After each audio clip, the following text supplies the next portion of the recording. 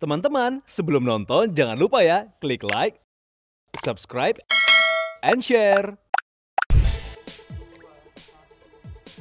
Nah, seperti itu viewers. Ternyata ada banyak sekali jenis-jenis penyakit autoimun ya, Ki. Jadi kita tahu nih sekarang. Betul, betul. Nah, ada contohnya ada lupus, ada radang sendi juga. Itu termasuk penyakit autoimun. Betul, dan yang terpopuler itu ada diabetes tipe 1 yang ternyata gula darah yang tinggi itu dapat menyebabkan kerusakan pada pembuluh darah. Dan ternyata masih banyak jenis penyakit yang lainnya ya Al ya. Ya, yang Hmm. mungkin uh, orang sebelumnya nggak tahu kalau oh itu ternyata termasuk autoimun Iya, ya. betul. Nah, viewers kita masih punya informasi detail seputar autoimun ini.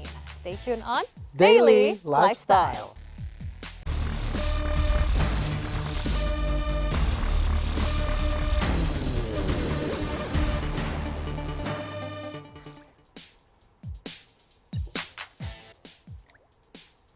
Welcome back to Daily Lifestyle. Viewers, kalau kita tadi sudah membahas secara detail tentang penyakit autoimun, sekarang aku mau kasih informasi lanjutannya nih viewer. Sejumlah selebriti kita yang mengidap penyakit autoimun, autoimun, autoimun. Iya, betul banget, Alia. Kasian loh sebenarnya ya Hmm, mereka ya. Betul banget. Dan Hmm. ternyata ada salah satu selebriti ya- yang sudah tidak asing lagi yaitu adalah Bunda Ashanti juga Hmm. Iya. Alia. Dan kita pengen tahu siapa saja dan seperti apa. Langsung saja kita lihat informasinya berikut ini.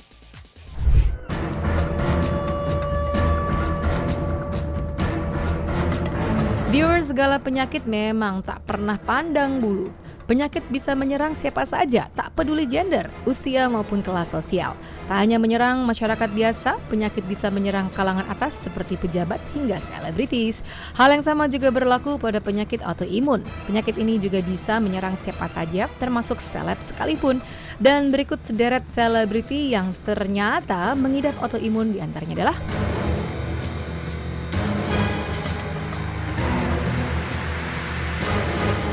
Ashanti, istri Anang Hermansyah ini mengungkapkan kondisinya lewat akun Instagram pribadinya.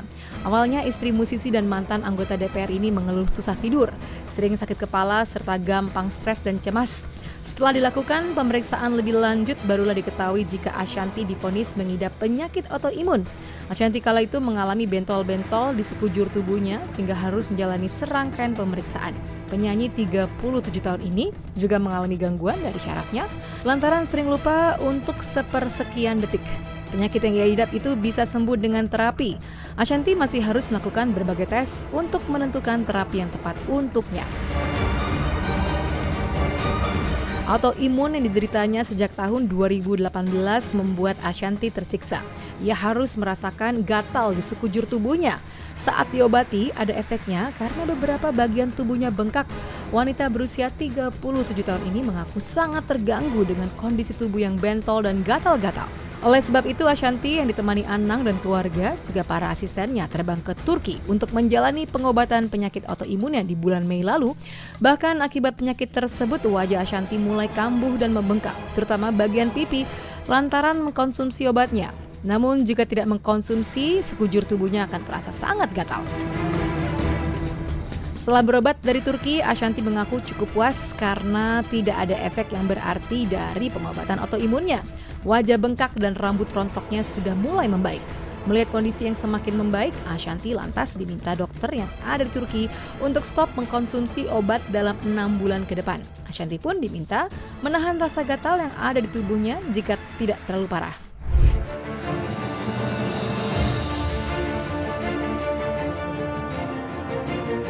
Ashanti bukan satu-satunya public figure yang sistem kekebalan tubuhnya terganggu. Finalis Putri Indonesia 2009, Kori Sadioriva, juga mengidap penyakit autoimun yaitu lupus. Sejak usia 16 tahun, Kori mengidap penyakit langka yang dideritanya yakni autoimmune Sjögren syndrome dan lupus. Selama penderita autoimun, Kori kerap mengalami sakit kepala hebat, ngilu pada persendian, serta nyeri di bagian kulit dan tulang belakang. Mantan istri Ramon Yetungka ini kemudian mengungkapkan caranya menangani penyakit lupus. Pemain film Dancing in the Rain ini membeberkan bahwa penyakit autoimun tersebut memang sudah ada di keluarganya. Penyakit langka tersebut diturunkan oleh ibunda Kori Sandioriva. uh, yang mungkin teman-teman udah tahu lupus itu seperti apa lalu juga Sjogren syndrome yang menyerang sendi-sendi kalau lupus ya seribu wajah uh, dalam cerita saya saya terkena 12 organ. Kalau dilihat saya perjuangannya saya sudah 13 tahun tapi saya baru tahu saya itu benar-benar fix autoimun adalah setelah tujuh tahun perjalanan. Dan uh, ya saya sudah banyak berobat ke luar negeri di Indonesia saya juga sempat kecewa sama uh, pengobatan yang ada di Indonesia karena saya juga korban steroid yang saat itu mengenai autoimun itu belum bisa diatasi dan mungkin ilmunya belum masuk dan belum up to date di Indonesia akhirnya saya lari ke Singapura udah, ke Penang udah, ke Malaysia, uh, ke Malaka udah, terus sempat ke Guangzhou, sempat ke State, sampai akhirnya saya berlabuh di Korea. Uh, di Korea saya mendapatkan sahabat dan teman yang mau membantu saya. Itu pengobatannya cukup kompleks. Saya mengalami uh, istilahnya 12 organ itu rusak. Saya di situ melakukan uh, bisa dibilang melakukan stem cell. Terus udah gitu saya harus ngurusin berat badan saya mengubah mindset saya rehabilitasi seluruh uh, kebiasaan hidup saya. Walaupun saya pulang ke Indonesia akhirnya belum bisa sempurna. Mungkin yang paling terkenal di Indonesia itu adalah lupus penyakit lupus yang dari dulu tuh orang udah tahu. Dibilangnya adalah penyakit yang tidak bisa disembuhkan terus penyakit yang ya nggak ada obatnya lah gitu. Terus uh, autoimun sendiri juga dibilang di doktrin bahwa uh, penyakit mematikan ketiga di dunia. Tapi uh, buktinya kita semua bisa survive dengan adanya teknologi, uh, penambahan informasi, juga relawan-relawan uh, uh, seperti Foundation Marisa Cordoba Foundation yang memberikan formula-formula bagaimana hidup lifestyle atau istilah ibaratnya uh, kita new normal ala autoimun. Nah, itu juga udah sangat membantu sekali dan banyak banget teman-teman yang udah bisa survive. Tadi sangka Cory telah berjuang selama 14 tahun melawan lupus yang dihidapnya. Wanita 29 tahun ini mengaku kerap pingsan jika aktivitasnya padat Tanya itu Cory juga harus mendapati berat badannya naik drastis mencapai 110 kg. Bukan karena hamil, tapi juga dipicu oleh autoimun yang diidapnya. Ia yang menggunakan steroid sebagai obat untuk menekan menjalarnya penyakit, ia pun berjuang selama enam tahun untuk mengembalikan kondisi tubuhnya. Menuntut support sistem kita untuk menyayangi kita atau menuntut support sistem kita untuk terus bertoleransi terhadap kita tapi yang paling penting adalah dengan kita bisa mencintai diri sendiri, kita bisa menolong support system kita untuk mereka juga sehat. Penyakit yang diidapnya disebut early lupus. Bagian yang diserang adalah tulang belakang yang menyebabkan kepala sakit, saraf seperti terjepit dan otot kontraksinya besar. Salah satu upaya yang dilakukan Corey untuk melawan lupus adalah ikut aktivitas merangkai bunga. Hal ini ternyata bisa membantunya secara psikologis. Wanita 29 tahun ini kemudian mengatakan bahwa pikiran yang terkendali adalah kunci mencegah penyakit tersebut muncul. Ia juga memiliki pola pikir yang sama pada penyakit lainnya. Kori bahkan pernah berobat ke Singapura dan Korea Selatan untuk mengobati penyakitnya itu.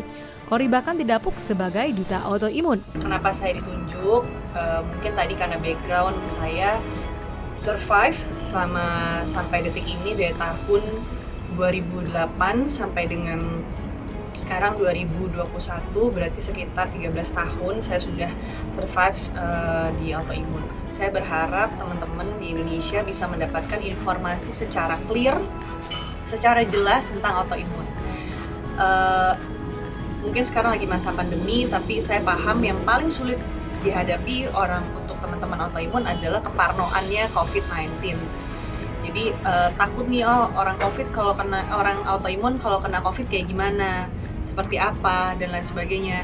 Nah itu don't worry, jangan takut karena uh, kita tetap bisa sehat kok asal kita mau jaga diri kita, jaga mindset kita, jangan terlalu terpengaruh dengan dengan pemikiran-pemikiran orang tentang kita karena yang tahu itu diri kita sendiri, yang buat masalah kita sakit itu diri kita sendiri dan bisa nyembuhin itu cuma diri kita sendiri. That's why kita bisa sehat. Lama tak terlihat di layar kaca, Aktris senior Cornelia Agatha ternyata tengah berjuang dengan penyakitnya. Saat ini, artis berusia 48 tahun ini terlihat jauh berbeda dengan saat dirinya memerankan tokoh Sarah di dalam Sidul tahun 90-an silam. Perubahan ini terlihat jelas dari bentuk tubuhnya yang tampak semakin berisi dan bikin pangling karena kenaikan bobot tubuh Cornelia menjadi begitu kontras dengan postur langsing dan seksi Sarah di dalam Sidul. Tidak sedikit yang menduga bahwa kenaikan berat badan diperoleh karena kegemarannya menyantap makanan. Namun, ibu dua anak ini ternyata mengidap penyakit autoimun yang menyerang sendi yakni rheumatoid arthritis, sehingga beberapa bagian tubuhnya mengalami pembekakan. Wanita kelahiran 11 Januari 1973 ini memiliki penyakit autoimun jauh sebelum ia menikah. Selama 15 tahun, Cornelia mengaku berjuang melawan penyakit yang dideritanya ini. Bahkan pasca melahirkan buah hati tercinta, Cornelia justru bercerita lebih sering menjalani pengobatan. Perempuan berdarah campuran Belanda dan Manado ini berharap penyakitnya dapat segera sembuh. Penyakit autoimun artritis atau radang sendi ini memiliki gejala yang terlihat dari adanya pembekakan pada jari, kemerahan, dan rasa sensasi hangat pada sendi. Dan salah satu efek samping pengobatan dari penyakit ini adalah kenaikan berat badan tak terkontrol seperti yang dialami Cornelia.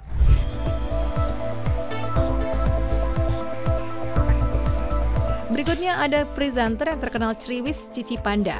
Wanita bernama lengkap Veronica Felicia Kumala ini mengidap autoimun yaitu vaskulitis yakni peradangan syaraf di bawah kulit. Lantaran penyakit ini ia sempat diketahui susah hamil. Semenjak itu wanita yang akrab disapa Cipan ini berusaha untuk mengubah pola makannya menjadi lebih baik. Cipan dan sang suami Marcel Aditya memilih untuk tinggal di Bali Baginya, semenjak pindah ke Bali ia merasa lebih rileks dan tidak stres hingga akhirnya ia dinyatakan kembali hamil pada 19 Mei 2018 setelah 8 tahun penantiannya menunggu anak kedua dengan penuh perjuangan. Meski sempat mengalami perdarahan, namun wanita berusia 38 tahun ini berhasil melewati segala ujiannya. Hingga akhirnya melahirkan putri keduanya November 2018 lalu yang diberi nama Kamala Madeline Pandria.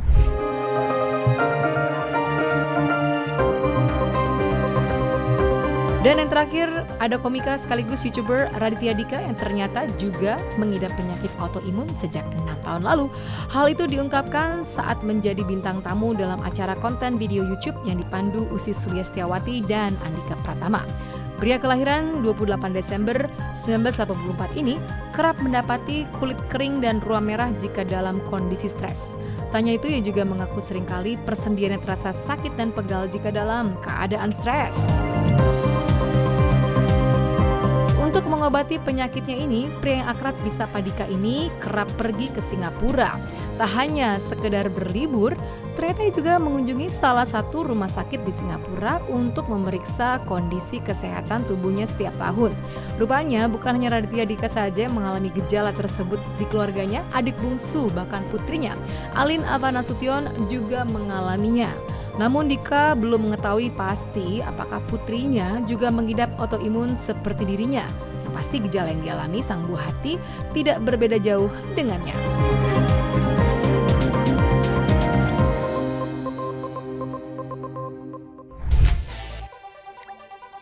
Wah, ternyata banyak juga ya Al. Mulai tadi kita lihat ada selain Bunda Ashanti itu ada Cornelia Agatha dan juga presenter Cici Panda. Ya betul sekali dan kalau viewers familiar dengan Rita Dika ternyata dia juga loh bersama juga Kori Sandioriva juga yang ternyata didapuk sebagai duta autoimun. Hmm. Nah, meski memang katanya autoimun ini belum bisa disembuhkan, namun dengan doa dan juga support yang banyak dari teman-teman, dari keluarga terdekat, dari supporter dan fansnya nih ya eh, teman-teman selebriti hmm. kita setidaknya dapat memberikan semangat agar para penderita autoimun ini semuanya selalu sehat. Dan Betul. kita juga nih pengen semangatin viewers siapa tahu ada yang juga mengidap penyakit autoimun, kita juga mau semangatin terus. Harus positive thinking dan harus semangat karena kekuatan pikiran itu juga hal yang penting untuk membuat kita tambah sehat ya. Hmm, ya. Oke, kalau begitu kita harus pamit dulu untuk hari ini dan uh, itu saja tadi beberapa informasi kita di Daily Lifestyle hari ini Alia. Betul sekali, viewers jangan lupa kita hadir setiap hari memberikan banyak sekali informasi yang menarik yang pastinya bisa menginspirasi viewers dan juga mengajak viewers untuk semakin belajar, ya kan? Ya, kalau begitu kita pamit dulu, saya Ricky. Dan saya Alia, thank you so much for watching Daily Lifestyle. The best source for your daily, daily insight. Bye. Teman-teman, sebelum nonton jangan lupa ya, klik like, subscribe, and share.